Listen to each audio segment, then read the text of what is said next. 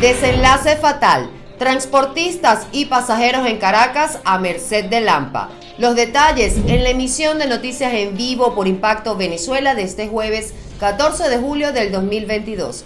Soy Mildred Manrique, bienvenidos sean todos. No olviden suscribirse a nuestro canal y activar la campana de notificaciones. Comenzamos. En internacionales, la Fiscalía de Perú investigará al presidente Pedro Castillo por tráfico de influencias en las Fuerzas Armadas, según el diario El Comercio. El mandatario fue citado a declarar ante la Fiscalía por petición del Ministerio Público que lo acusa del delito de tráfico de influencias para beneficiar al exministro de Defensa Walter Ayala y al ex asesor de Castillo, Bruno Pacheco, quien está prófugo de la justicia. Además, dentro de la indagación se estima que hubo reuniones en la sede presidencial con coroneles para presionarlos y cometer presuntos delitos. Continuamos con el medio El País que anuncia la puesta en venta de una vivienda de lujo del expresidente mexicano Enrique Peña Nieto, quien es investigado por transferencias irregulares. La oferta por este domicilio sobrepasa los 650 mil dólares y fue publicada a tan solo un par de horas después de que la Unidad de Inteligencia Financiera de México anunciara una investigación por corrupción contra Peña Nieto. El exmandatario no es el único miembro de su gobierno que es salpicado. A la lista se suma su exdirector de Petróleos Mexicanos, Emilio Lozoya. Seguimos con Infobae que reseña la condena en Estados Unidos a un ex empleado de la CIA por filtrar documentos al polémico portal Wikileaks.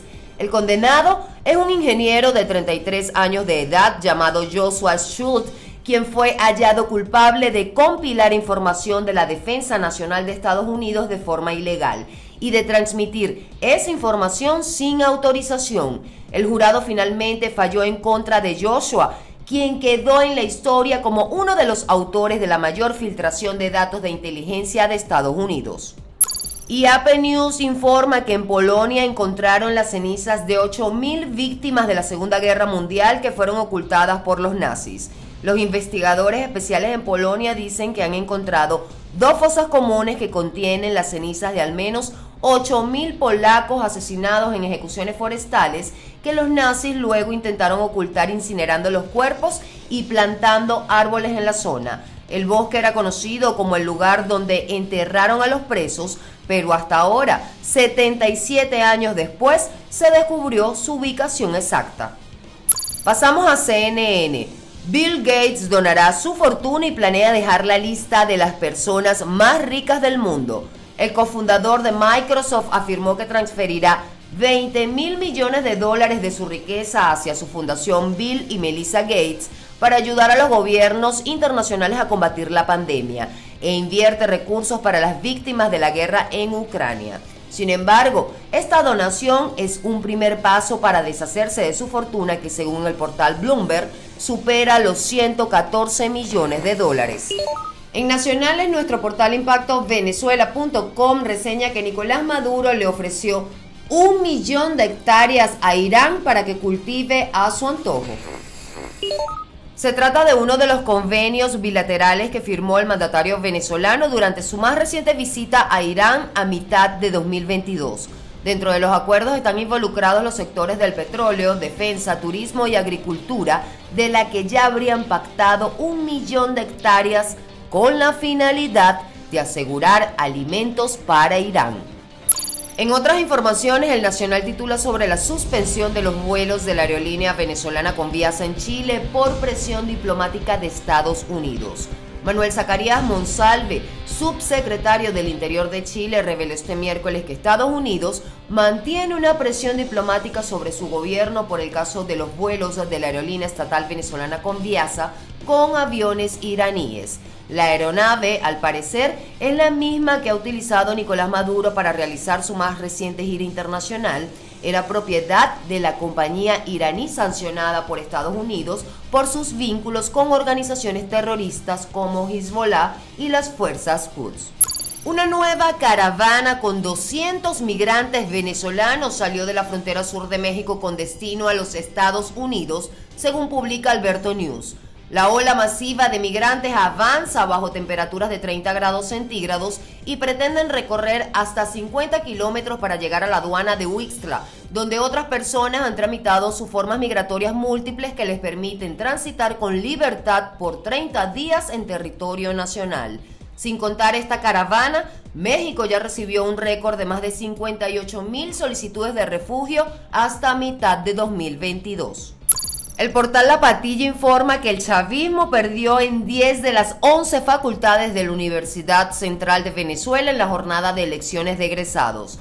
El resultado causó furor en las redes sociales, donde se celebró que el chavismo ganara tan solo uno de los escaños en las elecciones de egresados de la UCB, quienes formarán parte del co-gobierno universitario teniendo voz y voto en los consejos de escuelas, facultades y universidades. Finalizamos rueda de titulares con 800 noticias que titula sobre la incautación de equipamiento militar y combustible que realizó la Fuerza Armada Nacional Bolivariana en la frontera con Colombia.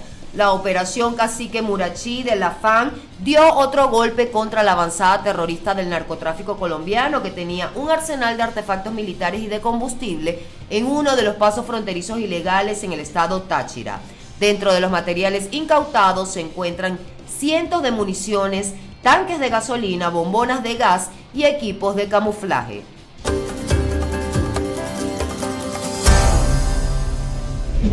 Y como todos los días, nuestro equipo de corresponsales está listo para llevarles la mejor información de lo que ocurre en el país. El miércoles 13 de julio, la Aeronáutica Civil Colombiana autorizó la operación de vuelos directos desde Colombia hasta Venezuela, una vez que el gobierno de Nicolás Maduro diera apertura a la conexión aérea entre ambos países, cerrada desde 2020 debido a la pandemia. El diputado a la Asamblea Nacional, José Gregorio Correa, se pronunció ante esta noticia en la primera semana de septiembre, Dios mediante, segunda semana de septiembre, debería estar reanudándose esos vuelos entre Colombia y Venezuela. No puede ser que para ir a Colombia hay que ir primero a Panamá. Hasta ahora se conoce que la aerolínea encargada de transportar a los pasajeros será la TAM Colombia y los vuelos se realizarán con una frecuencia de 7 vuelos por semana desde Bogotá hasta Caracas. Correa también aprovechó la oportunidad para expresar la necesidad de restablecer las relaciones con el gobierno colombiano. El presidente Petro asume. ¿Qué hay que hacer? Reanudar de inmediato nuestras relaciones consulares y las diplomáticas. Reanudarlas para qué? Para la protección de venezolanos en Colombia y de colombianos en Venezuela. Eso trae consigo la reactivación de una economía que está trancada, deprimida en el estado Amazonas, en el estado Táchira. Esta es toda la información que tenemos hasta el momento. Yo soy Génesis Pérez informando para Impacto Venezuela. Desde lo más alto de este puente ubicado en Antímano, lanzaron a Jesús Antonio Vázquez, un hombre de 40 años de edad. Su hermana Erika contó la versión inicial. ¿Qué pasó? ¿Cómo matan a tu hermano? Bueno, es algo que todavía no tenemos, en sí no tenemos todavía el, cómo fue el suceso. Lo más cierto fue que nos avisaron que estaba tirado en la autopista. ¿Lo amenazaron antes, sabes tú? No, no tenía problemas con nadie, simplemente fue para robarlo, nos imaginamos porque le quitaron sus pertenencias. ¿Y el transporte donde andaba? No, él iba camino a sacar el carro, nunca llegó al estacionamiento. Inmediatamente reaccionaron los colegas de las líneas de Antímono y particularmente aquellos quienes laboran en Unión Conductores La India. Sí, bueno, siempre salimos temprano y salimos con ese miedo, ¿no? De, que no pueda pasar, quién se monta, no sabemos quién se puede montar y más que todo en las partes nocturnas. Trabajamos hasta las 10 o 9 y media de la noche y bueno, no, no hay ningún tipo de seguridad en las calles. Pues. Y eso a nosotros nos, aterra eh, salir a trabajar esas horas. Pero bueno, ¿qué hacemos? El día a día, la necesidad hay que salir a trabajar. Son más de 80 conductores de estas líneas a quienes los invade el miedo constantemente por la ola de delitos, particularmente robos a mano armada. Así era Jesús Antonio Vázquez, alegre, cordial y amigable. Sus asesinos acabaron con todas esas características. En definitiva, son muchos los conductores de todas estas líneas del suroeste de la ciudad de Caracas que han sido víctimas de algún delito en los últimos meses. En consecuencia, han anunciado una gran asamblea en donde van a tomar decisiones en cuanto a las actividades que van a poner en práctica en los próximos meses. En Caracas, Santiago Gutiérrez, Somos Impacto Venezuela. Sí, un médico traumatólogo fue detenido por efectivos de la policía del estado Táchira tras denuncias sobre el cobro ilegal de cirugías ambulatorias en un centro de salud público del municipio Cárdenas del estado Táchira. Este traumatólogo de apellido Somasa convocaba a los pacientes indicando que tenían que apuntarse en una lista y para que sean intervenidos quirúrgicamente con mayor prontitud deberían cancelar entre 600 a 1000 dólares. Estas denuncias fueron consignadas ante los organismos de seguridad y hoy se efectuó la captura de este Galeno. Este fue pasado a orden de la Fiscalía número 23 del Ministerio Público. Amigos de Impacto Venezuela, hoy traemos información en materia de sucesos y es que de 14 disparos fue asesinado un sujeto identificado como Edgar León Reyes de 26 años, esto durante la celebración del cumpleaños de su madre en el municipio Puerto Cabello, acá en el estado Carabobo. Testigos del hecho indicaron que cerca de las 8.30 de la noche el joven se encontraba sentado junto a otros invitados en la puerta de la vivienda de su mamá cuando un auto se detuvo justo frente a ellos y un sujeto desconocido le propinó al menos 14 disparos que terminaron con su vida. Autoridades iniciaron las investigaciones de este caso para determinar las posibles causas de este hecho, aunque hasta ahora el móvil que se maneja es la venganza. Sin embargo, vecinos aseguran que Edgar era un hombre que no tenía problemas con nadie.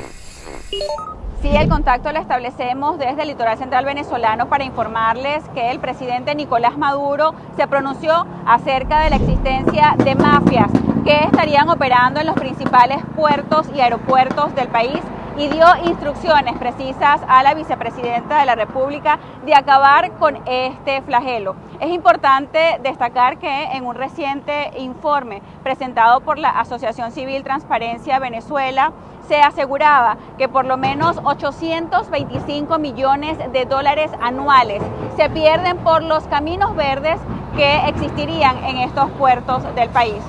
Este es el reporte que le podemos ofrecer desde Vargas a Mi Torres. Somos Impacto, Venezuela. Productores agrícolas en el oriente de Venezuela y pecuarios solicitan mayor presencia de los cuerpos de seguridad. Señalan que bandas dedicadas al avigeato, que es el robo de ganado para descuartizarlo y venderlo de forma ilícita, los tendrían azotados, afectando la producción.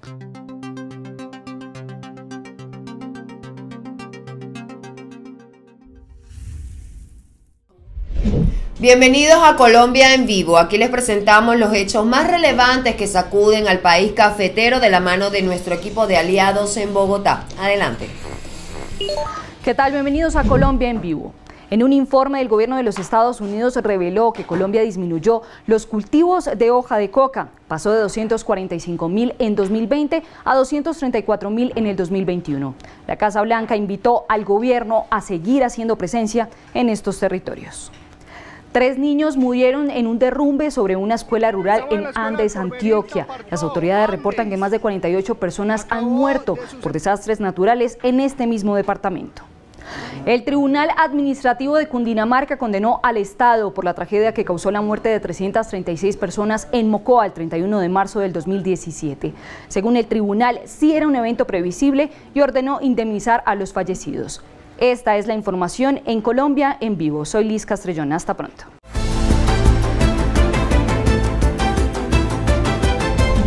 Feliz noche para todos y una de las noticias más resaltantes en materia de entretenimiento es que la actriz venezolana Scarlett Ortiz tendrá un nuevo proyecto en pantallas internacionales, pero esta vez no es una telenovela, sino que será una de las concursantes de reality show que será transmitido por Telemundo tu Chef VIP. Recordemos que hace un tiempo participó en otra serie de Lifetime, Amores que Engañan.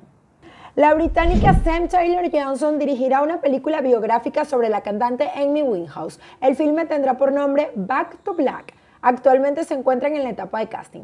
Y en la misma onda de materiales audiovisuales inspirados en la vida real, tenemos que David Beckham se prepara para protagonizar una serie documental en Netflix. El proyecto presentará imágenes de archivo nunca antes vistas de sus últimas décadas como jugador del Real Madrid. Y cambiando de tema, la actriz Amber Heard intentó revocar la decisión legal a favor de su ex esposo Johnny Depp. Una jueza de Virginia le negó la petición de anular el veredicto del juicio por difamación que falló a favor del protagonista de Piratas del Caribe. Y bueno, luego de haber salido victorioso del juicio en que enfrentó a su ex esposa Amber Heard, Johnny Depp se encuentra estudiando los contratos para retomar ciertos proyectos cinematográficos. Ya saben que nosotros estaremos por acá, como siempre, llevándole las noticias más resaltantes en materia de entretenimiento. Soy Bárbara Orozco y nos vemos la próxima semana. En video viral, un comando armado asesinó al hijo del expresidente Porfirio Lobo en Honduras. En imágenes captadas por una cámara de seguridad se observa como cinco hombres armados con escopetas y fusiles detienen al hijo del expresidente y tres amigos más. Lo fuerzan a salir de la camioneta y los acribillan. Hasta el momento no hay mayores detalles de lo ocurrido.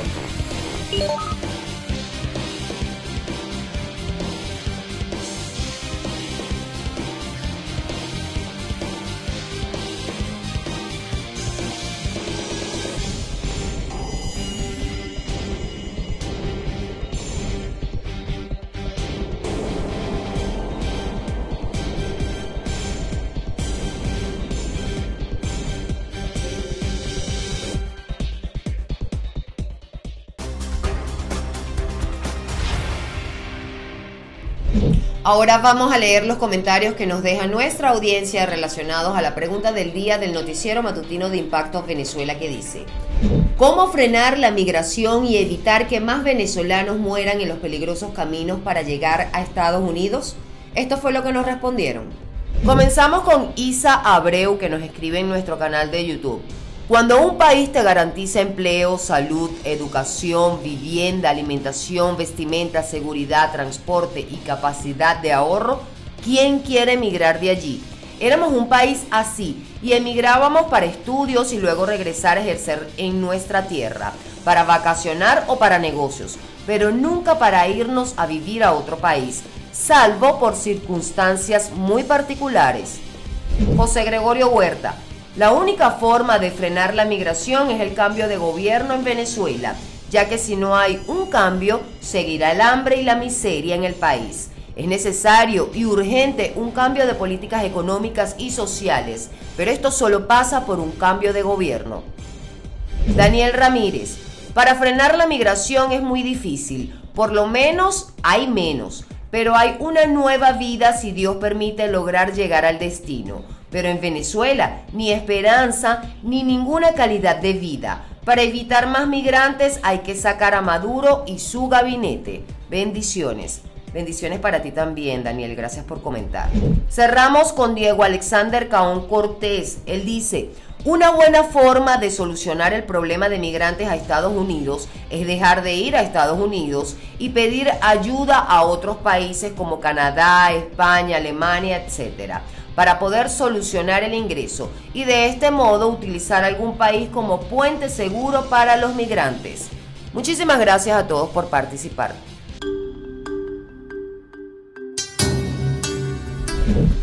En la caricatura del día, Marvin Figueroa no se quedó callado frente al insólito aumento del dólar en Colombia y a la sagrada cura que promete el recién electo presidente Gustavo Petro. ¿Se les hace familiar este escenario?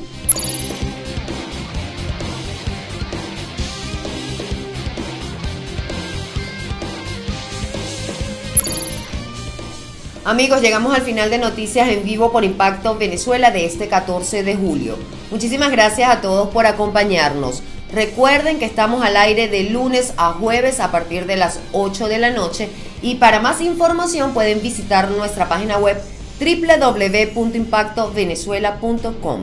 Soy Mildred Manrique, que tengan un feliz descanso.